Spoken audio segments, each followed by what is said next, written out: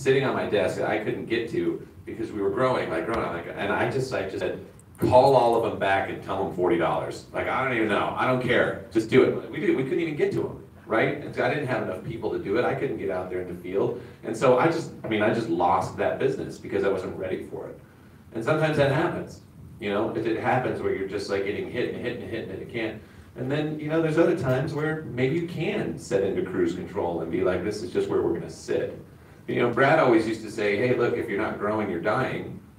And you inevitably, you're gonna grow.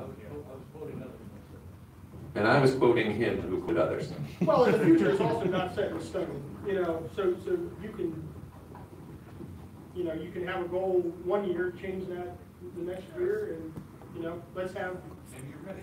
you know, yeah, we're ready now, let's have banner growth, and, okay, maybe let's cool off a little bit, maybe not grow as much, and, you know, you have a little bit of control of that, but not total control of that, always. Right, uh, I by myself, so I, uh, situation, what would you, would would be the next item? What would be the, Front office. Yep. Front office. In order to put a third truck in the field, you usually need an office person. You need somebody answering the phones all the time. Yeah, there, there's two things I know. That's all. it. I don't. There's no more than two. And he's used them up today. That hurt my feelings. Which one? both of them? Well, the other one still hurt from before, and it's, it's, uh, it's wrapped up.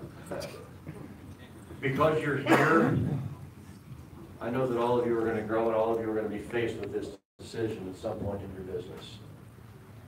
Whether or not you need to grow past, you have to grow past one person, or you want to, to, to go, uh, just continue to be what this is. It's not going to be where you are your master, the master of your domain in respect to that. Someday, something's gonna happen, you're gonna have a landscaper call you because you've done good work, and because you're here, I know this. You do good work, you want to do better work than everybody else, your phone's gonna ring, and there's gonna be a hundred customers right there at your fingertips, and all you have to do is put another truck in the field because you're at max capacity. And that is a decision you're all going to have to make at some, and when you do, I want you to call me and say something that, and I have these in my calendar, every year I get reminders on a half a dozen, it's, it's up to eight or nine now.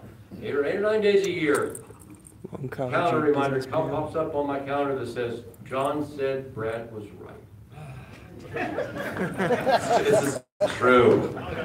And he reminds me, and I don't even remember what he was right about. Oh, but he reminds me every year. It's on the calendar, man.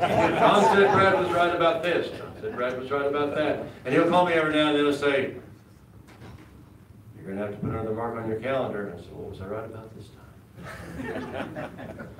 You're going to be faced with this, and there are going to be points in your growth where it doesn't cost you money to grow. It just costs you a little bit of pain and, and, and the growing pains. There are going to be points, and that second to third truck is where you have to take, is one place where you have to take a financial step backward to be able to take two steps forward down the road.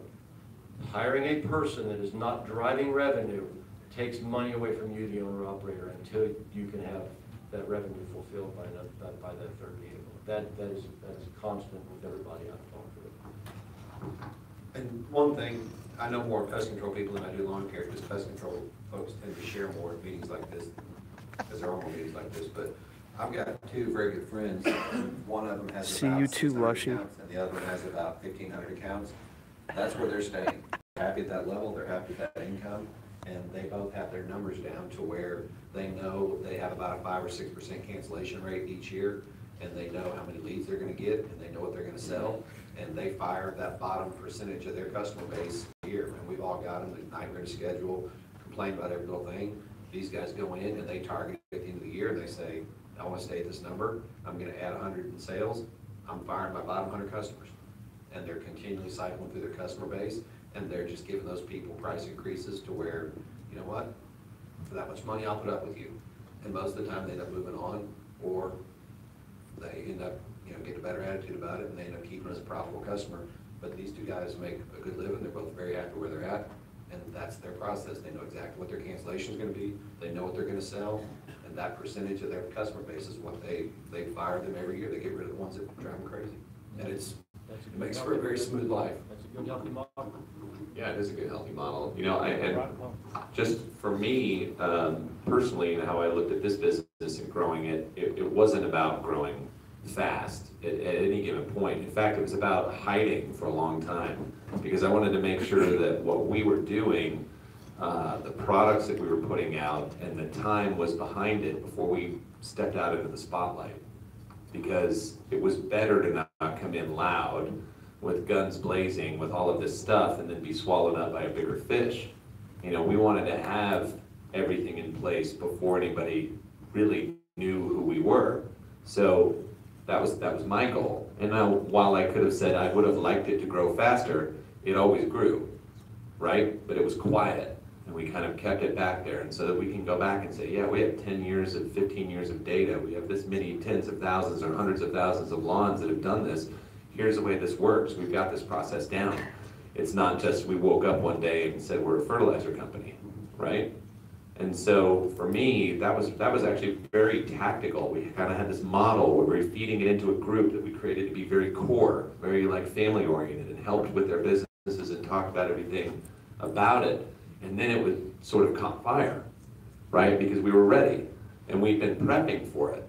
I mean, when we bought that building in 2013, uh, all of our stuff fit in like that corner over there you know, and it was in this big empty space, and we had these two corporate transport vehicles that were razor scooters, so that we could go from one end of the building to the other, back and forth, because all of our stuff was on one end, and we kept forgetting stuff on the back end, and we had to scoot back and forth across this thing, because we weren't to the size to fill that space, but we knew it was coming, right? We're prepping for that, we knew that time was gonna happen. And we would buy equipment when we didn't need it, and we'd sit on it. Like, there were things, when I would see something happen, I know we're gonna need that, it's coming next year, let's make sure we're not in a pickle when it happens. And I plan to head that way. So we're always bringing things in all the time to be ready for that time. Then it was like, I made the commitment, I said, you know, I was like, what, four years ago or so, five years ago, I said, I'm just gonna be now out talking about this and get as much exposure, as much exposure as possible, that was my goal. Just talk about it, be out, get as many speaking engagements as I possibly could, be out in the public, finally put a face out there in front of it. And then we started making all these other connections and it just went like that, right? Everything jumped up and then all of a sudden, here's this company, who are they? Few early adopters take it on, they share the fire, everything starts going, right? We grew four hundred and fifty percent last year. Seventeen percent. 417. Twenty, uh, nineteen, twenty eighteen was four hundred and seventeen percent of 2017. 2019 was uh, hundred and forty-five percent of twenty eighteen. It's, it's been a lot, big, big, huge steps as we've gone forward, but we're ready and we can take it. And this is one of those pain points that I was talking, it's a good illustration of the pain point. Um, Show of hands here, who, who all here was I your first rep that you spoke with from this company? I'm surprised not more than that. Um, Until this year, I was the primary rep. We had, we've had a couple people in Florida off and on. Um, Chris Helms came on board this year and. The guy north of the border for a while, I'm sorry? the guy north of the border. Canada Mike? Yeah, yeah, that was a hot minute. That was, Bad. yeah. It was a hot minute. Um, That's what I started with. We're, we're at the point, we, we, we, and this year, this year was especially painful for me, um, in, in, in a number of ways, but it was a, it was a good pain, it was a pain I was happy to feel. But Chris helped me bear it, uh, quite a bit, and, and and what we, the struggle was, you know, we, we need to scale our sales force. We need, we need to scale our, our uh, account rep team. And our commitment That's Chris. the, our company culture and our company identity requires them not be a say anything salesperson. It's not somebody that's just, that's gonna be an FH, and we'll tell you what that is later, one-on-one if you'd like. Um, we, we need someone, and we, we want people on our sales team that understand our products, that have used our products, that have the same level of commitment to feeding, helping you feed your families that John and I have had since the beginning of all this because it's our, it's our core value of the company. It's, it is, it is, I would say it is the single biggest core value of our company. And that's our commitment to you. So if I ever put, a- if I ever assign you to a rep, and they don't treat you like that, and they don't find out everything they could possibly find out about your fertility program so that they can help us be what you need us to be, I want to call. That's the wrong person. Chris is the right kind of guy. Bo's the right kind of guy. Josh is the right kind of guy, and we're very happy about, about all of this. And we're gonna continue to scale the sales team, we're gonna continue to up our game on the education, because that's what we wanna be for you guys. Because that's the point. Because that's the plan that we set. And, you know, we, we've gotten, we have gotten past that, the pain point. What do we got? Oh, Mark Long, yeah, I forgot about Mark. Well, you know, he's, he's got one foot in the grave and the other on a bar, so, well, uh, Remember, he has Now- the most Well, I was talking about this year. You are just now coming on as a sales rep. I tried to get you to become a sales rep a year and a half ago. You said, quote, "I'm not ready yet. I still have a spray service. I have to get rid of it first. That's right, yeah, that's right. So as of last week, Hunter became our Florida sales rep, our Florida account rep. Oh, look at that. Woo! He has been with us in one way, shape, or another since he was, what, four years old? But yeah, it's true. It's been a long time. So between, I mean, when you think about how long Mark's been in the business, He started it's, it's like six times more than Hunter's been alive. Mark has clothes that are older than Hunter that he still wears. Yeah, that's true. He's He's wearing them today. That's right. But anyway, the point of that, if there is one, is that there's an awful lot of experience that can be shared in all sorts of, you know, as you're growing your business and moving things along, and that we, we, we want to offer that. You know, we want to be able to share that with you in our, our own trials and tribulations, and, you know, these are a bunch of people who, who ran spray services and pulled hoses, and we've been there, and done the whole thing. So, you know, it's not, we're not just, now that I'm sort of just talking about Greene County, we're not just a fertilizer company. No, we, we were boots on the ground first, right? So there's, there's more, there's a lot that you can lean into on this side, and we're, we're here, we're here, maybe it's just telling a story, or, or just, you know, sharing and helping you through a little pain point in your company. Um, it's, it's like the first person in your peer group is, is us, right? And then you get to build the rest of it, get some more people in there and, and be able to share and, and grow your business. I know it's counterintuitive to what you're used to experiencing from suppliers, but we really give it our.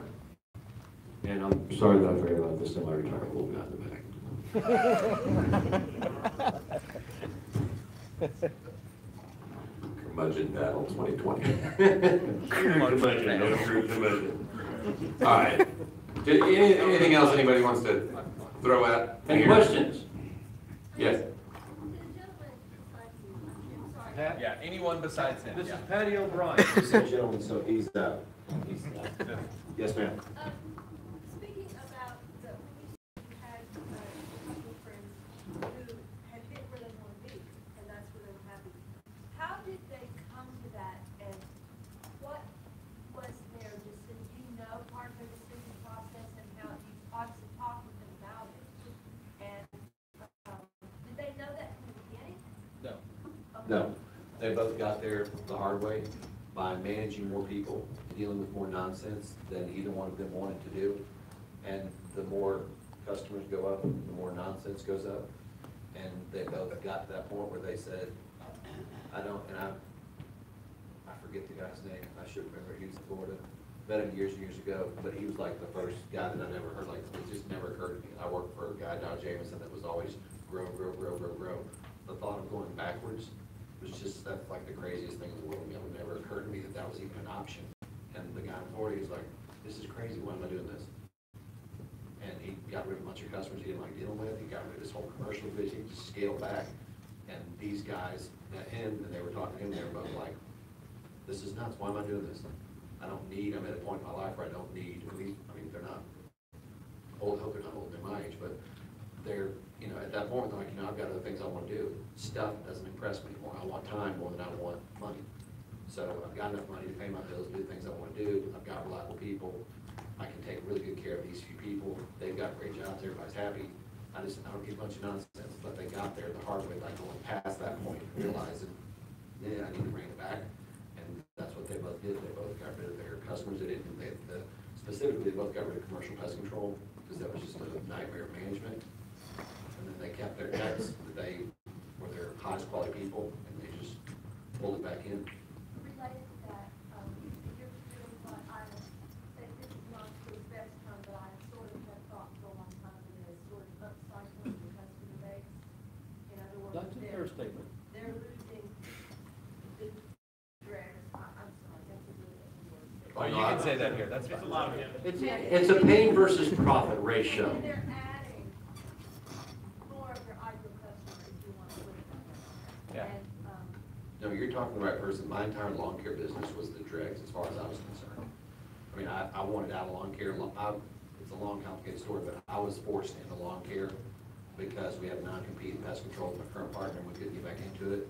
So I had to do it, and my full intention was, I'm gonna do this long enough until I get pest control built up to this number, and the lawn care's gone, and we're full bore pest control, termite pest control.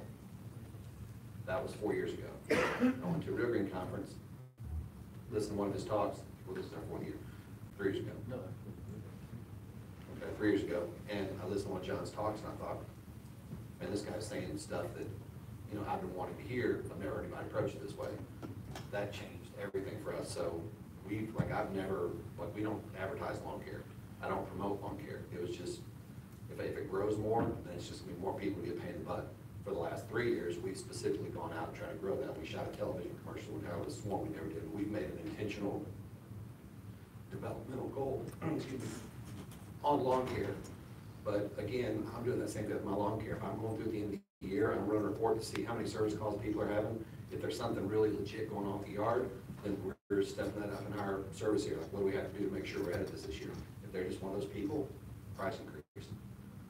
And it's, you know, you can call it upcycling or recycling or getting rid of whatever, but the bottom five or ten percent gets a price increase, firing. Hiring customers. You You know can fire your customers, it's okay. Yeah, They'll nothing wrong. fire you, you can fire them. Yeah. This just is not working out. I think you'd be better off with somebody else and just get them out there. We used to label them It's not rotten, an rotten issue. pumpkins. So we used to, if, if we had a customer that we just did not like, was, was not understanding the expectations of, a- of a- how long it's gonna take or, or what's going on, we, we would just put a flag code, I mean, Real Green calls it a flag code, I'm sure Services and has another word for it, but we would just rotten pumpkin. And then every year, we run through that, run that report, get all the rotten pumpkins and say, we're not working for them anymore. Or, like you said, price increase, and if you wanna pay this, you can stick around, if not, you're gone. Was it a percentage? No, no, because it, it would vary from year to year. Um, some years it was a couple, some years it was twenty or thirty. Um, we've had some, we had some flag codes in there that I can't say out loud. Pitas, Yeah, Venus. like Pita Pit. Kinda, yeah. Pain in the ass. Pain in the ass. No, Pitas. Venus is a very popular flag code. I don't know if anybody knows that. We have a frowny face. We Frowny can put face. emojis. Yeah, We have an emoji frowny face. Aw. But it, it just, it wasn't worth it. It wasn't worth it for our techs to spend that extra thirty minutes at, at Mrs. Jones' property, because she just doesn't get it. Um, Um, and to add to that, I mean, it's a, it's a case-by-case basis. You have to really look at the account and look at the individual and see, you know, because the one thing that you don't want to do is fire a customer, get rid of a customer, jack up their price when there were some failures within, you know, the service that they were getting. You know, if you start doing that, that can give you a bad reputation about it. You really gotta look at it, like, okay, yeah, this person calls in after every single treatment, you know, spends a half hour on the phone complaining about nothing, and then hanging up the phone and calling back a week later with, with no real problems. Like, okay, that person's a pain in the ass. But, you know, if the tech goes out there every single time and leaves the gate open, and the customer calls in and says, hey, you guys left the gate open again, and screams at you for twenty minutes every time you do it, I mean, you could fire that customer, but, you know, you really was a failure within the, you know, within the company there. So, you know, you really have to look, you really have to look at those things as well. And when we lose customers and we can't, you know, customers cancel us, we always do an internal audit to see, like, what, what could we have done to save that customer? Did we do everything in our power? Did we live up to their expectations? Did we set the right expectations? Um, you know, and you really have to do that with, with, um, you know, even the customers that you want to get rid of, just to make sure that you're getting rid of the customer for the right reason. So just just to revisit something we originally talked about on Wednesday, Wednesday night, um, when it comes to hiring folks and retaining people, at what point do in revenue can a company realistically afford to give benefits? You know, I know big companies have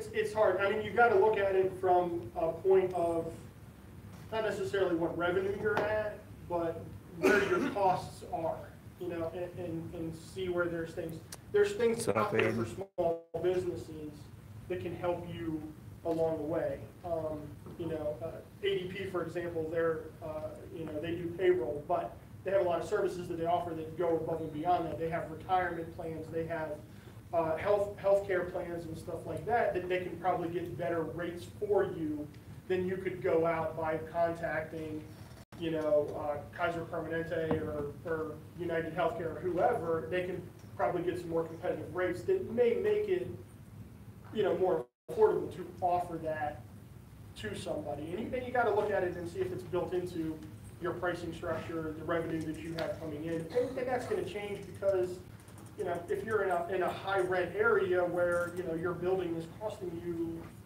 tons of money, That's color you know, even as to an area where, you know, the cost of commercial real estate is, is not that much, you might have a little bit more to play with than, than somebody, it all depends on the cost of, of that individual person, you know, company. I think it's the same concept when you're talking about insurance as, as what we're talking about. Finding somebody that knows what they're talking about. Whatever you say, Big A. That's what she does. She sells uh, health insurance to small businesses, just like everybody here. And when we, Andrew, when our old insurance company, our old insurance company, I'm not doing it to you.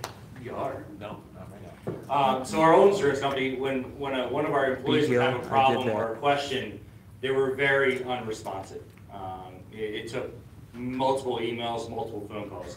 So my wife came into Andrews Lawn Landscaping and, and kind of revamped how we deal with the insurance thing. So my recommendation on that is definitely find someone that will, is willing to come to your shop and have an hour conversation with you about how to handle insurance. That, that, that's usually the best way. My wife loves doing it. She makes up little packets, little, little information packets, how, how your employees sign up, how they, how they sign up for dental or, or, uh, vision or, or medical. And, and she, she, she takes it by the, bull by the horns when it comes to stuff like that. Yeah, there's a lot of resources out there, you know, and, and just try to find them and see if they, see if they fit what you want to offer and what you want to do. I mean, uh, and see what people in the area with the bigger companies that are there, see what they're offering, see if you can compete with that. It Might be a little bit different, you know, but it can be the same, like, we don't, we don't offer a four oh one K, we offer, you know, a simple plan. It's still a retirement plan, it still has the same things and everything like that, you know, but we're not at the level where we can offer, you know, a four oh one K through our company. And my wife sells nationwide, so if you guys have any questions, just get my phone number and I'll make sure she gets in contact with you. That was awesome. Yeah, Aiden, that's Brad. All right, we got, yes.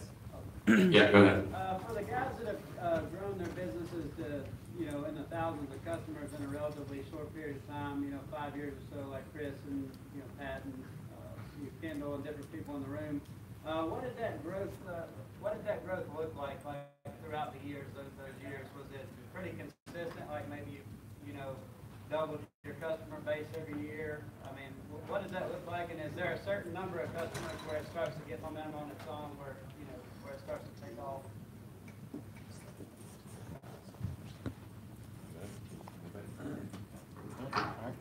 Anybody?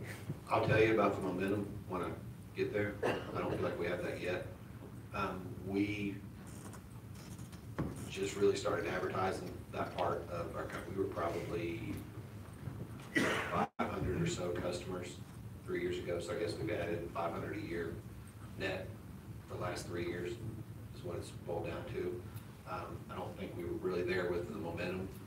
Uh, we advertise on radio TV which again, it's a market by market thing. I've got a friend in Nashville who, his advertising budget last year was hundred and thirty-five dollars. He bought a little thing in his daughter's school program, and his company's growing twenty percent. We're spending seven percent of our total revenue on advertising and fighting like crazy to grow.